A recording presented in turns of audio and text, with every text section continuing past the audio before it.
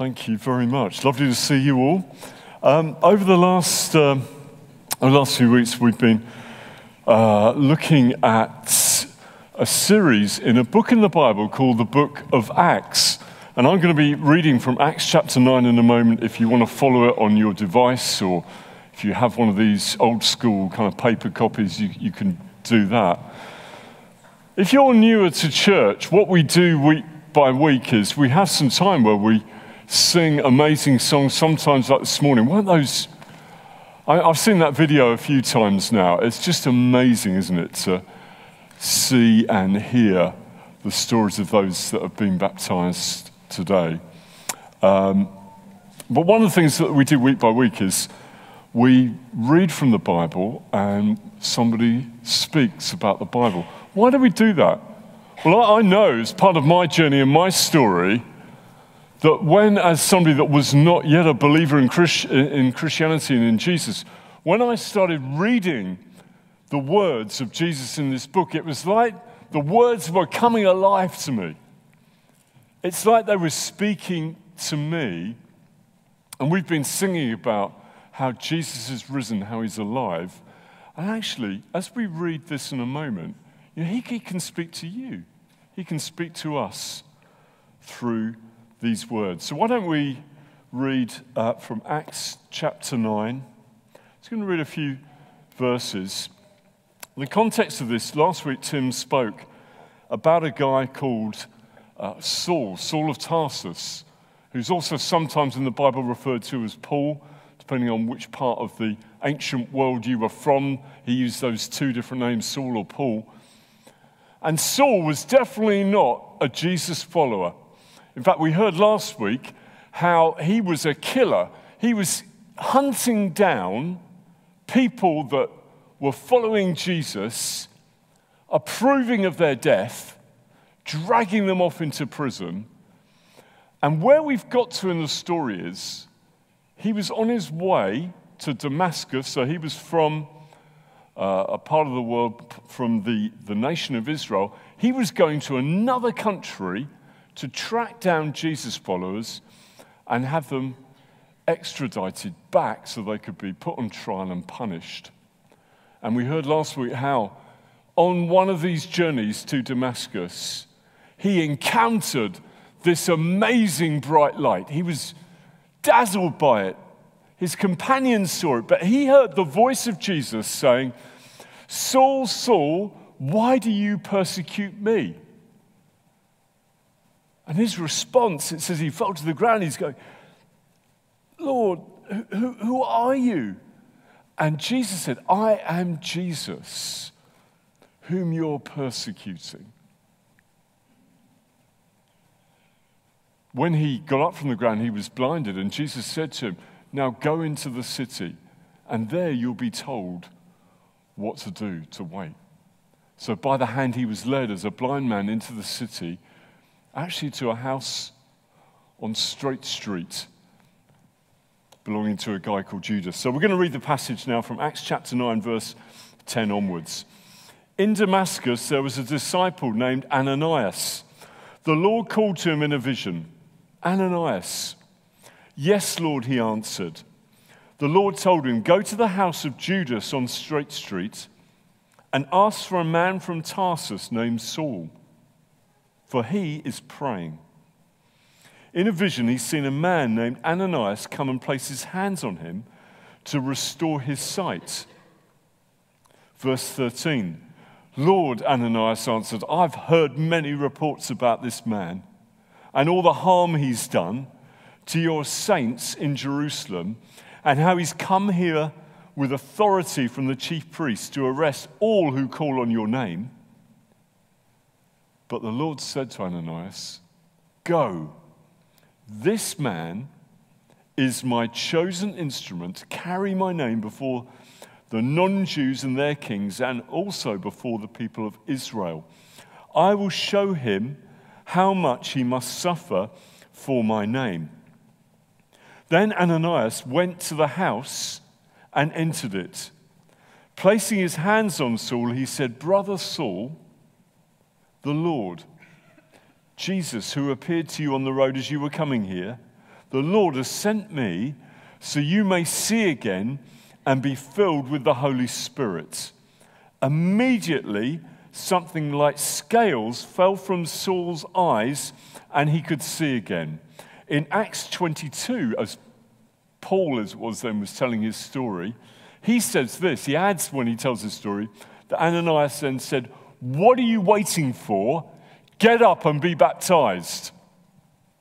But here in this Acts chapter 9, it says he got up and was baptized, and after taking some food, he regained his strength.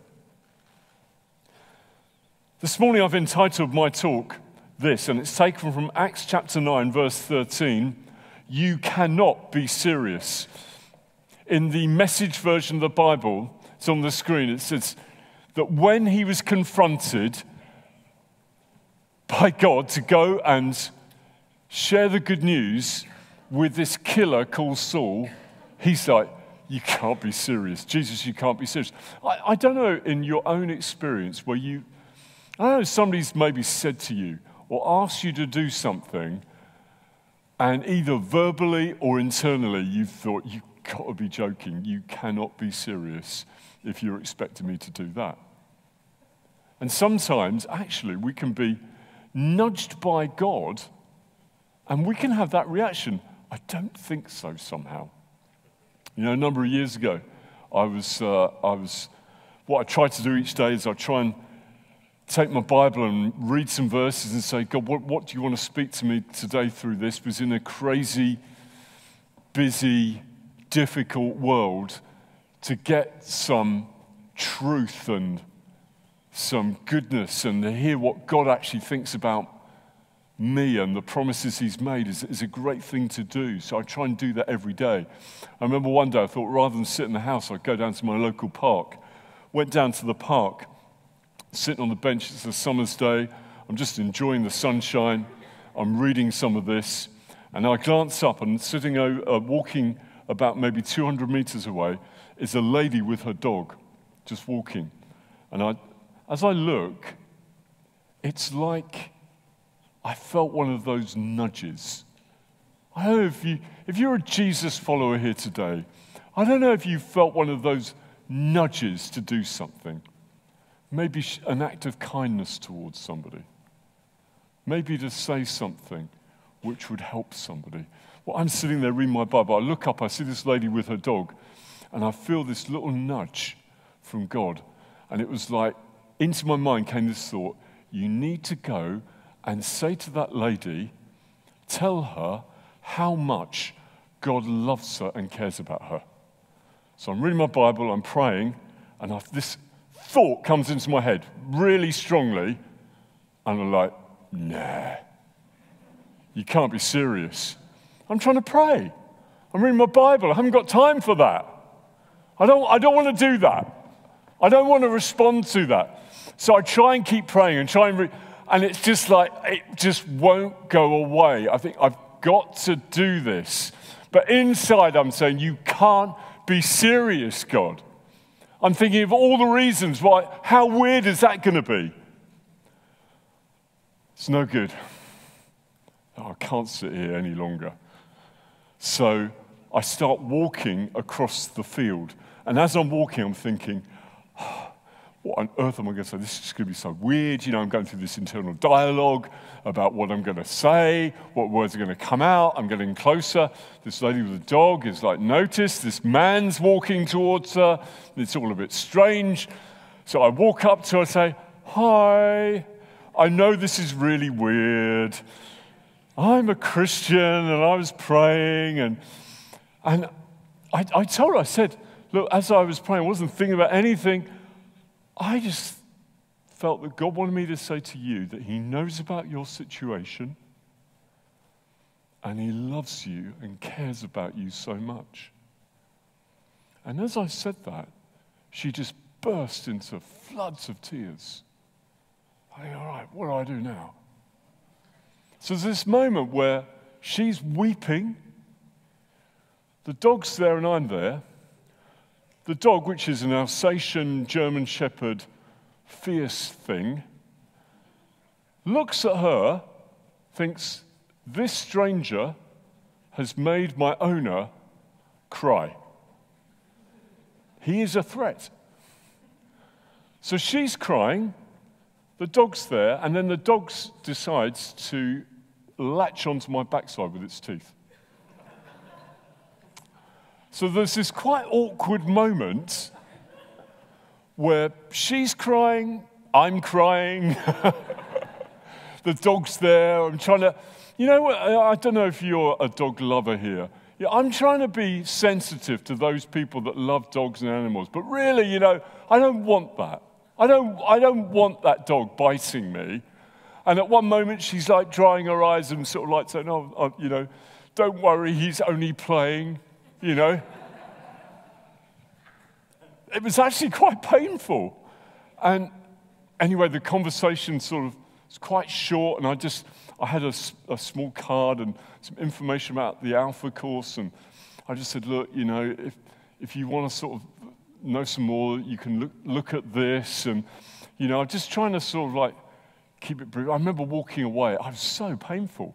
I got home and Sarah, my wife's a nurse, I said, Oh, can you have a look at this? You know, and she said, I think you need to go down to casualty. So it's a bit awkward, isn't it? It's all healed now. You'll be glad to know. Have you ever had that moment, ever felt a prompt to do something that you just think, no way, you can't be serious? See, in Acts chapter 9 and verse 10, it says, In Damascus, there was a disciple named Ananias. And really, this morning, I think what some of what maybe God wants to say to us is that, you know, He's really happy to spend time with ordinary people. You know, our media will say that it's the celebrities that are important. It's the, it's the people with influence and power and money. They're, they're the important people. You know, the, maybe the marginalized, the outcast, the, the unknown, the forgotten, the hurting, the broken, those just with mundane lives, mundane jobs. They're, they're, you know, they're not important. But God has got a different view. It says in that verse in chapter 10, um, in verse 10, it says, In Damascus there was a disciple named Ananias. And we don't really know very much about him. Just to be clear, there's another Ananias earlier in the book of Acts. It's not that one, it's a different person. But we don't know much about him. What we do know is because of this guy Saul, there was a, a massive persecution against the church and the church was scattered. They fled, they, they were fleeing the persecution. Well, Ananias wasn't one of those because it says actually he was known in Damascus as being somebody that was God fearing, that had a good reputation in the neighborhood, had a good reputation as being somebody that lived a, a, a right life. And he was a believer in Jesus somehow, but not somebody that had fled. But pretty much that's all we know about him.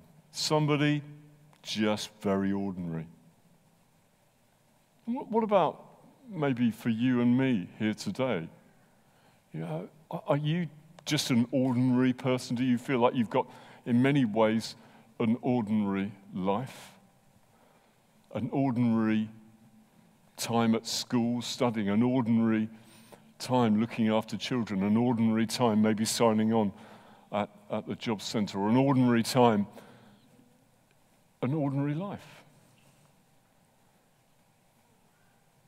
I wonder if you could put this picture up, Mark. This is a, a man called Alf Cooper. I would say Alf Cooper is just an, an ordinary man.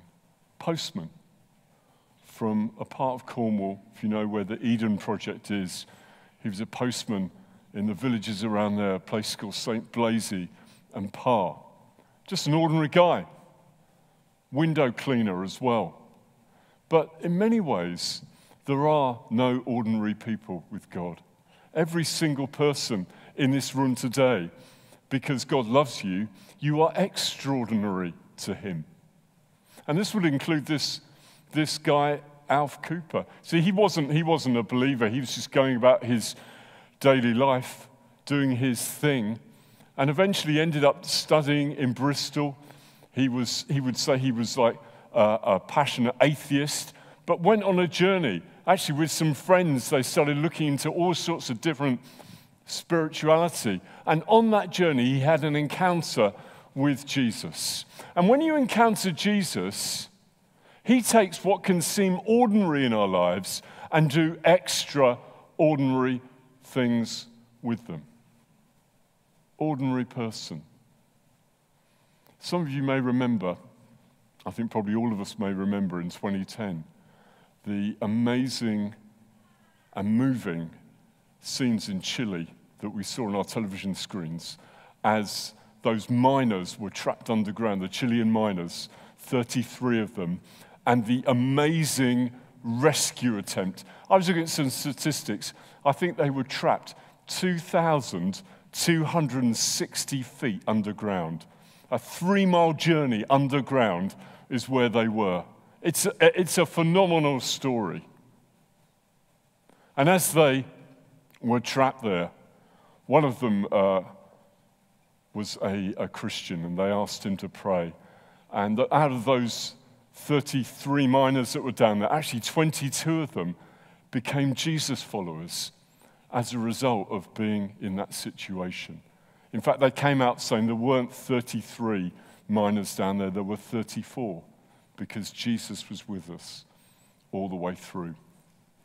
Well, this guy, Alf Cooper, not only did he go from having a relatively ordinary life? What actually happened to it? He became a Christian and he became the chaplain to the president of Chile.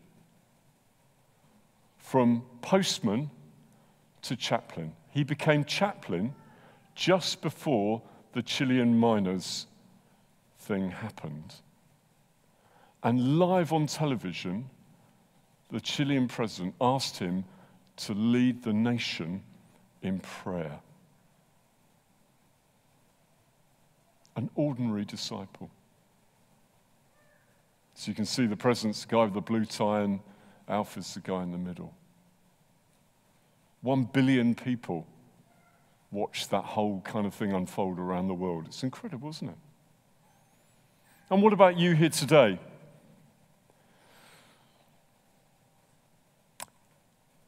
We heard last week how God calls Saul, Saul, Saul, why are you persecuting me?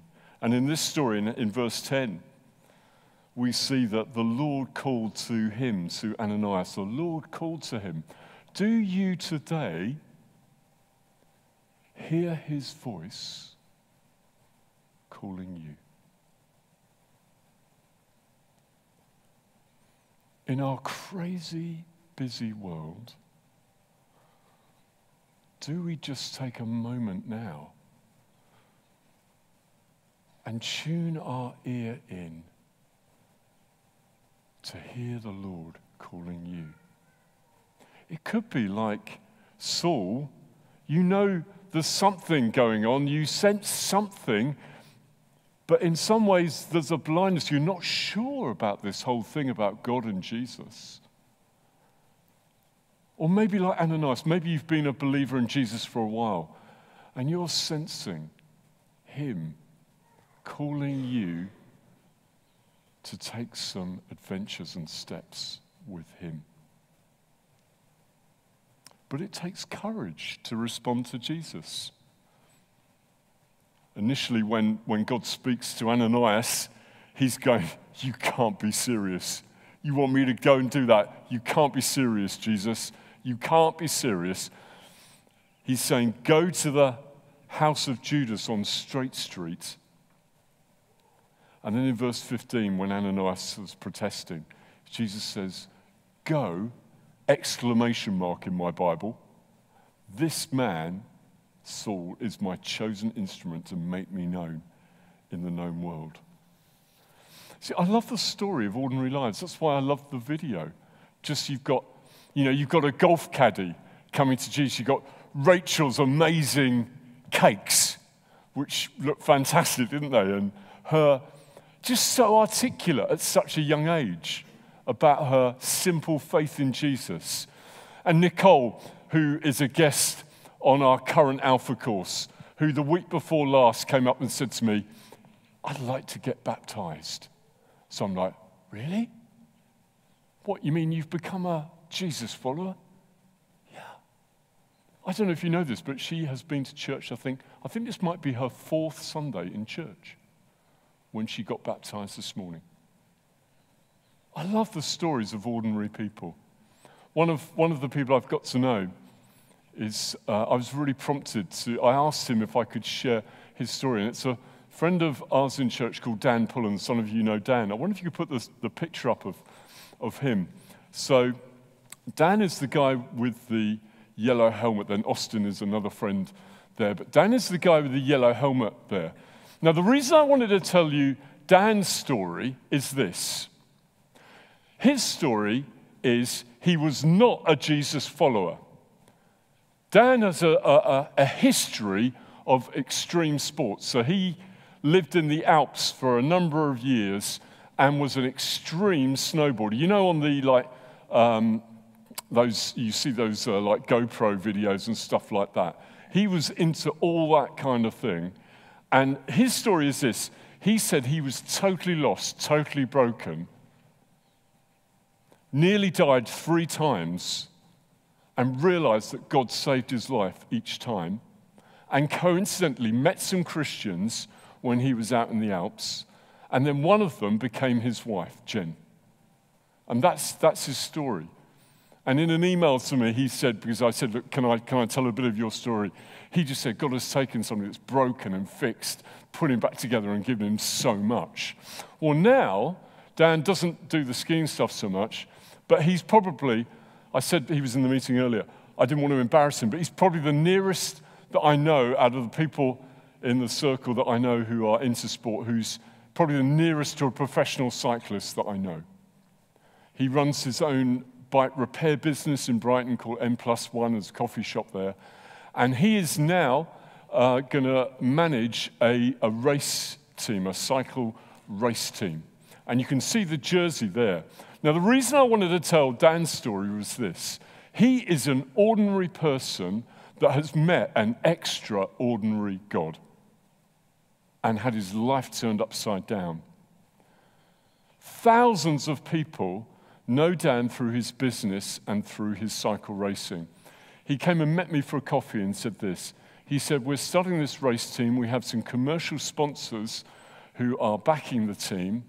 But he said this He said, One of the things I would wonder would King's Church consider partnering with our race team? We're not expecting any money for that. Sponsors normally put money. He said, We're not looking for anything like that. But would King's Church partner with my race team? And he said, The reason is I can put your logo, the King's Church logo, on every bit of publicity that goes out, on all the race kits, on the team cars and everything. You might just be able to see it. It's one of the smaller logos right at the back there in the middle. So that means that every cyclist in a race, when they're following, because obviously his team are going to win, when they're following, they're going to see the King's Church logo. He said, The reason I'm doing this is people know me, but I want them to know that I know Jesus. That's courageous, isn't it? He's putting his head above the parapet. A friend of mine, Ram Babu, Indian evangelist, I remember him saying this. He said, Courage is not the absence of fear, courage is the conquering of fear with the help of God. So, who, do you identify with today? Because you'll identify with one of the two people in that story. Maybe for you today, do you identify with Saul?